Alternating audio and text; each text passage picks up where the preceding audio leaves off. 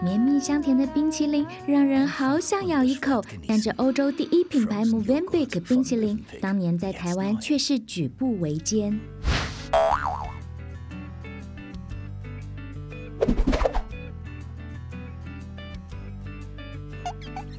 百富通集团横跨两岸，经营进口冰品、餐厅、儿童主题乐园，年营收十二亿元。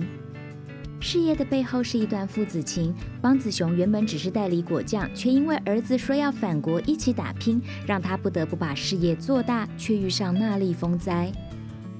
淹水，淹水，怪怪，这个淹水水淹的是比这个在最危险的时候，那个土葬也在水底下，哦，啊，存折都没有啊。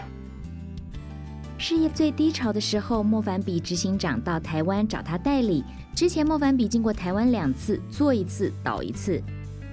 我现在还有半个货柜的冰淇淋存货，也是有国外的 CEO 讲，呃，国外的 CEO 讲的，这个东西我就送给你去做做市场 test 嗯，啊。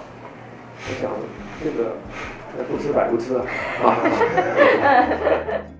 但是卖了两年还是没有知名度，他们只好出险招，用开餐厅来卖冰淇淋，却卖出好成绩，也意外找出开餐厅这门好生意。目前餐厅的营收甚至超过了冰淇淋。创业之前，方子雄在中信集团当到副总，但代价是忙碌而忽略家庭，成了单亲爸爸。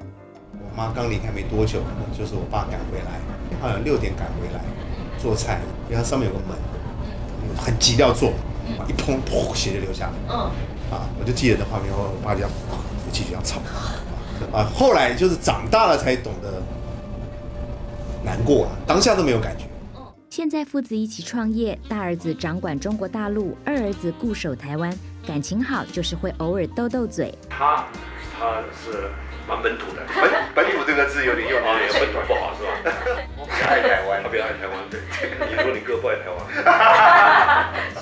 甜甜的冰淇淋不但满足了消费者味蕾也串起了父子情。